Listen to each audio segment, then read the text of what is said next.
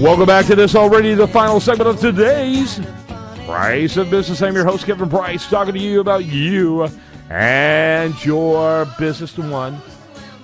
The only Charles Alvarez. We got him lined up. He's with CornerstoneBusinessAcademy.com. I am uh, not only very familiar with uh, Cornerstone from uh, a media perspective, but I've been a client of Cornerstone for a long time which is why I'd like to get him on the program. We are just in awe of how much our business has exploded while working with Charles, and uh, love to hear the success stories and to be one of them. And uh, he does great coaching, he does great consulting, and uh, great job of bringing guests on as well and doing interviews. Charles, glad to have Thanks you on. for having me, Kevin. Thanks for having me, Kevin. I'm always humbled to hear what uh, what you think of me. So uh, I, the, the feeling is mutual, that's for sure. Well, I appreciate it. Tell us a little bit more about uh, what you do, and then introduce your guest today.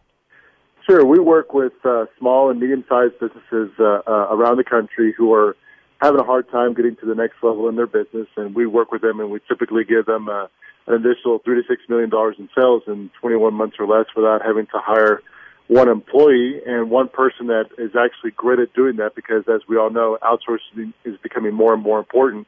Is Dave with uh, the Eliassen Group? So, Dave, welcome to the show. Yeah, Hi, very good good. morning. Yeah, welcome to the program. Tell us real quickly about yourself. Give us your uh, give us your elevator speech, if you will. Sure. Uh, At Eliassen Group, we're a privately held IT consulting and staffing firm. We've been in business 25 years. We've got practices in life science, agile, and biometric and data solutions. And internally, we have about 200 staff and about 1,000 consultants on billing in about 35 states. Yeah, Very good. Your question, Charles. So, Dave, tell us kind of what uh, what are the unique challenges that you're that you find that your customers are facing or your clients are facing, and how is the Eliassen Group best positioned to take care and address those challenges? Yeah, so Charles, today, if you look at unemployment, it's about 6% nationally. And there are several pockets of IT that are about 1% or basically full employment. And I think on the supply and demand standpoint, our industry moves in cycles. Right now, we're lacking the supply in the STEM field science, technology, engineering, and math. And most large companies have strong balance sheets. They want to utilize their cash to enhance their efficiencies with technology, and they really need the resources to execute on those projects, whether it be permanent salaried employees or through consultants like us. And in most cases, it's really both. So that's where we can play an important role for them. Mm-hmm. Are there certain industries that gravitate towards your company? Yeah, there's quite a few. Uh, so you've got financial services, technology, government integrators, uh, higher ed. Uh, so it really, and even retail. So there, are, it, it's across the board, and then of course biopharma, the uh, biotech, medical device spaces. So uh, it's pretty uh, wide ranging. Yeah, and by the way, have we had you on the show before? Uh, you have not. Oh This wow, you guys sound Thank you. familiar. But anyway, we're glad to have you, Charles.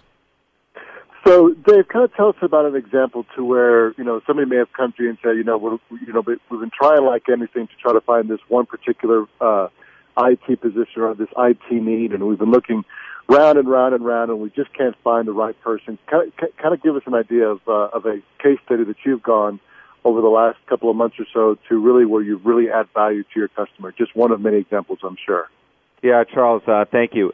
If I look at, there's a large financial services firm, and what they wanted to do was really assess their current project management, development practices, and identify areas to really improve their predictability, their time to market, flexibility of current and future projects.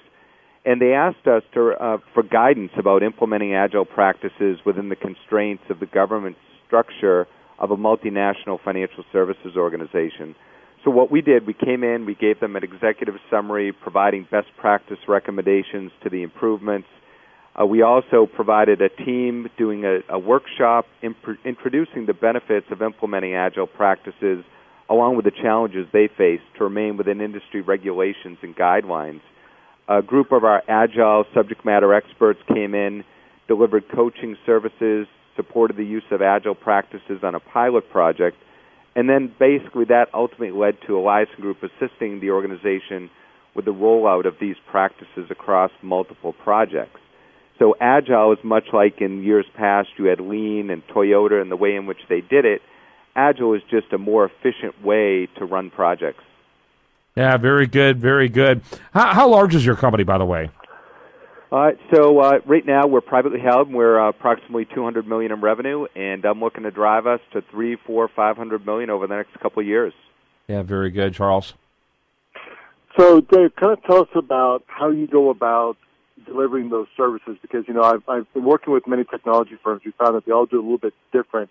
If somebody were to engage you in the process, kind of tell us about how you go about you know taking the time to understand what people are looking for and how you go about uh, solving the the, uh, the market challenges that your clients are facing.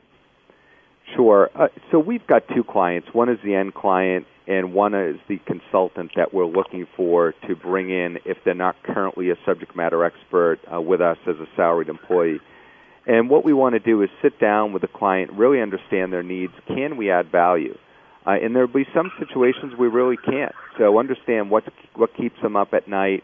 Uh, what are their long-term, short-term initiatives, and really make that assessment. And once we have that, then try to fit the appropriate resources so, do they need a few people on a project for six to nine months?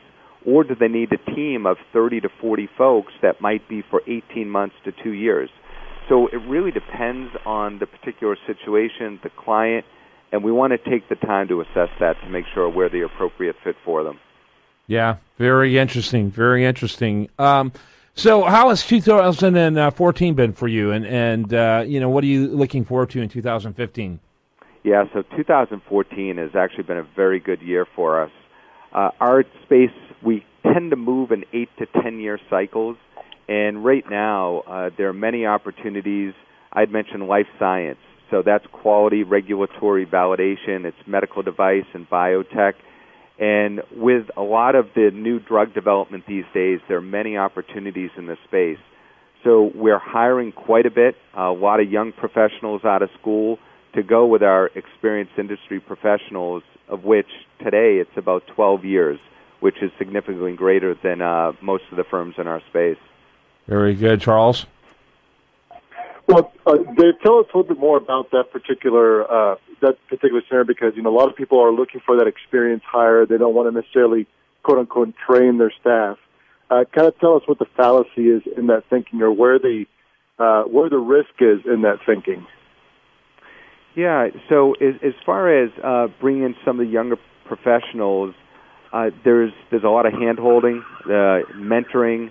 I think one of the biggest things today, if you look at EQ over IQ, so the emotional quotient, emotional intelligence, how do people really connect in an organization, working within teams, and so a lot of that training and mentoring development with some of these young folks, uh, it really helps the environment here not everyone's going to make it. It's not an easy space. A lot of people coming out of school don't necessarily know the IT consulting, staffing space. Uh, but for us, it's a, an avenue for growth. And then, uh, with regard to the experienced people, we need them as well. So the consultants out with our clients, our clients are looking for people with certain skill sets. They don't want to have to train them up. Day one, they can jump on and uh, so there's a value to our clients in that respect. Uh, on the, the junior side, the younger professionals, for us, it's more account executives, recruiters that we're training internally. Yeah, very good. We got to wrap it up. Final thought. By the way, what what is your website? Uh, you know, for our, for our audience out there to learn more about you. Sure, thank you. It's www.eliassen, E L I A S S E N dot com, and the phone number is seven eight one 246 1600 at the corporate. And uh, anyone can reach me as well. I'm on the website, uh, LinkedIn, uh, email, and I'm usually very responsive. Yep, and Charles can be reached at cornerstonebusinessacademy.com. Thanks to both of you, gentlemen. Hey, thank you this morning. I appreciate it. Yep, glad to thank have you. you. Dave. All right, so when we come back tomorrow, we're going to have much more for you. I do hope you have a great rest of your day. Spend it sensibly right here on this station.